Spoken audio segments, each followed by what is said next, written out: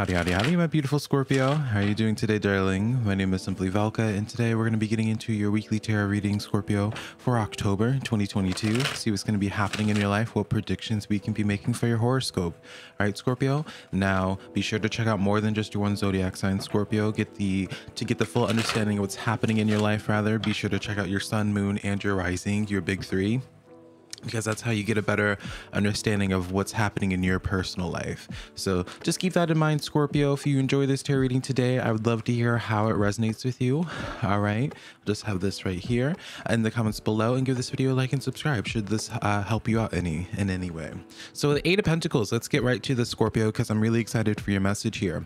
All right, the Eight of Pentacles uh, is the extra card that came out for you. All right, I usually do like a spread of three, uh, but I just felt called uh, to be pulling out that extra one for you, which is a very beautiful sign for you because I see some type of promotion happening in your life here, Scorpio. Now, this could be in, any type of facet, all right? Now, the Eight of Pentacles, naturally, it will refer to like going back to school to like go up in the ranks. Uh, it could be talking about a promotion at your job, but think about this energy, uh, Scorpio, this Eight of Pentacle energy as just uh, upgrading. So, a certain relationship uh, in your life could be upgrading. You know, you think about someone who is just like you start just doing the talking phase, and then the Eight of Pentacles would come around for when action's about to be taken, uh, Scorpio, to then go from the talking phase to then the dating phase, and then the engagement, and so on and so forth. So, really, you'll know what this is about in your life, Scorpio. Should you just focus on, um, be realistic on like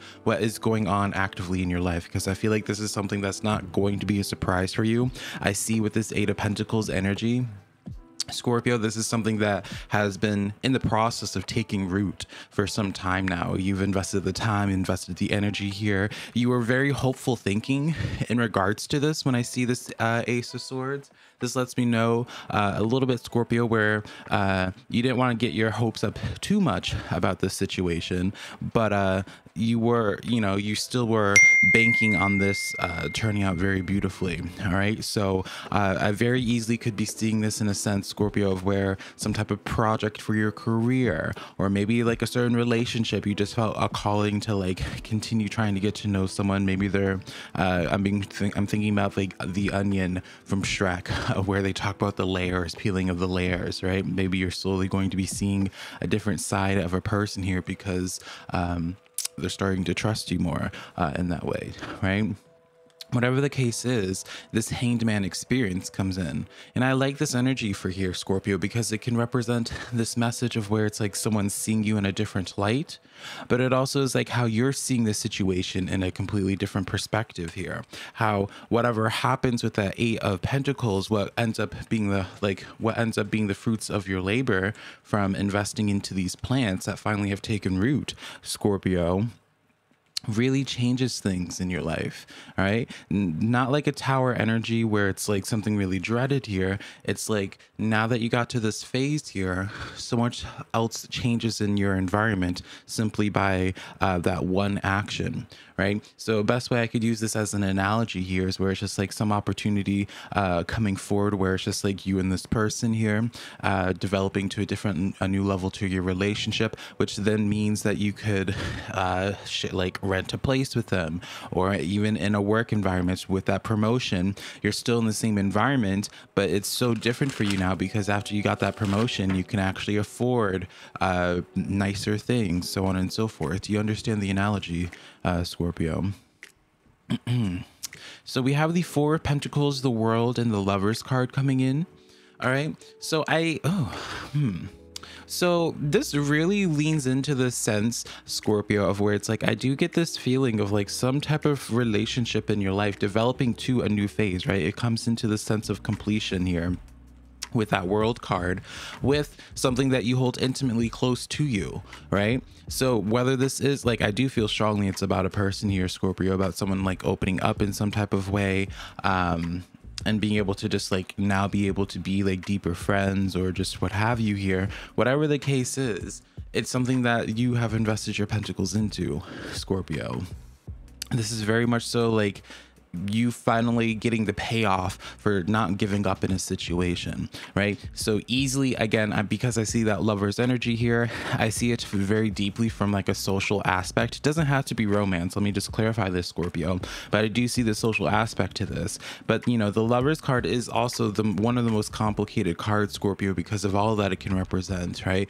Obviously, you take the lover's aspect out of it, it represents complex decisions, right? Where it's just like now that something comes to the forefront, the next decision that you make greatly alters everything else about your life there, right? It's like now that you make more money, now that you claim to this new promotion that's coming into your workplace that you've invested all this time and energy into, now that it's here, you know, you're beginning that new phase. As I said beforehand, the world card is the final card of the fool's journey. So it closes off one fool's journey to then begin a whole new fool's journey. So it's like all your cards, do you see how it's aligning Scorpio in such a way where it's like some type of new beginning is being shaped up for you here, but it's like a new beginning with something that's already settled in your life, something that uh, it's now becoming profitable, like whatever the case is for you, Scorpio. This is is really interesting. I'm actually genuinely curious, Scorpio, about like what have y'all been uh, investing a lot of time and energy into?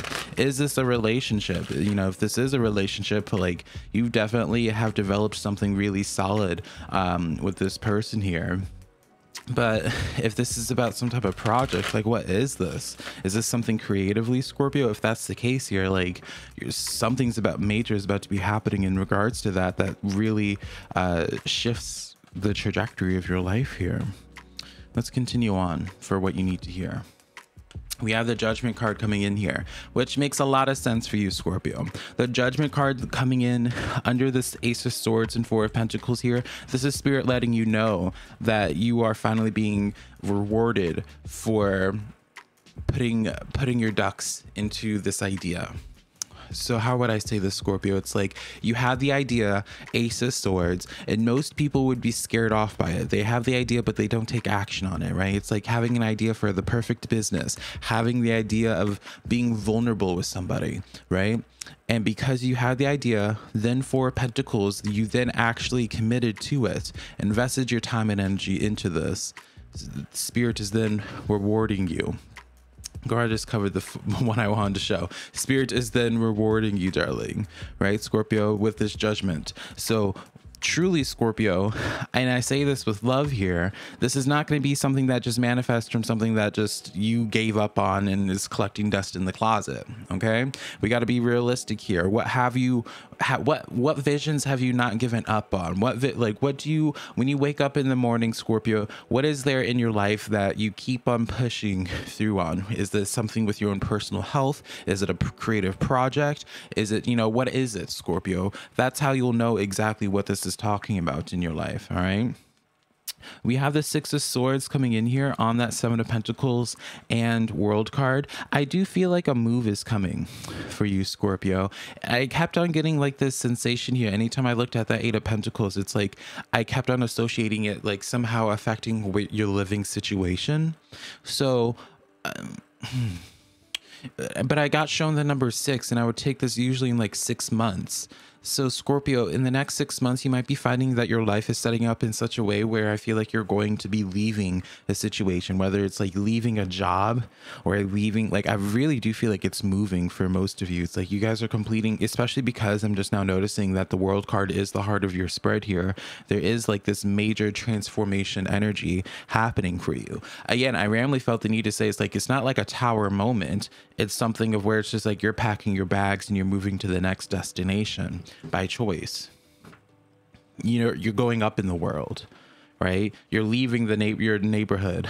you, I say that your childhood neighborhood that you always grew up on, right? And then when I pull the six of cups here, talking about how you're growing from when you're that little uh, little uh, kid with her dog, and then right here, right? So it's like there's definitely growth here. You guys are really evolving and because the Six of Pentacles is under this Lovers and Eight of Pentacles here, the Six of Cups, or I think I said the Six of Pentacles, I apologize. The Six of Cups, uh, Scorpio, represents a couple things. It represents something from your past, um, just an energy from your past, but it also can represent receiving like a divine gift or an offer or something.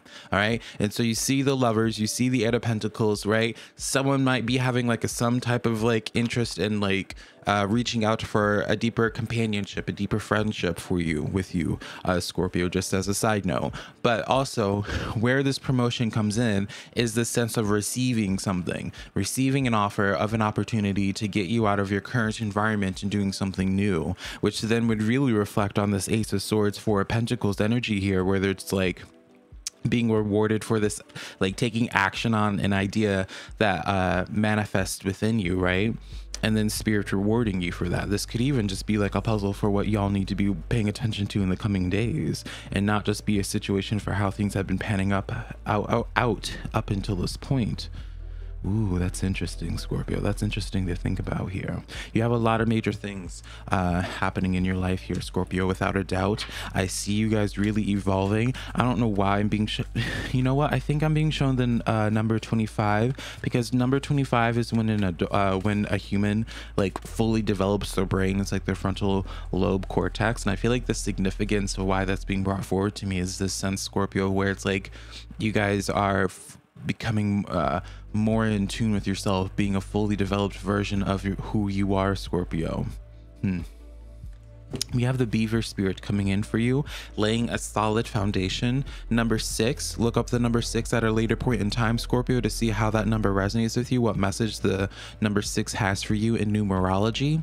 Laying down a solid foundation with the beaver spirit. That's what's actively happening right now. I feel like you guys either have already you already have i feel like already have. Things are starting to take root. When things start taking root you're going to be really appreciating the fruits of those labors. Ace eight of pentacles and it's through the fruits of those labors that's going to then take you out of your current uh, situation, your current environment, into a new destination, Scorpio, where you're not dealing with nearly as many problems. Because I feel like, especially for your career, I feel like if you weren't in the environment that you were in, your career would look so different. Like you wouldn't have the nearly as many restrictions. It's like you want to be like, for example, a food food blogger, but you don't have the space to be a food blogger or whatever. I don't know. That's the first thing that came to mind. You don't have a, an environment that's conducive to your creative ability, your your mind.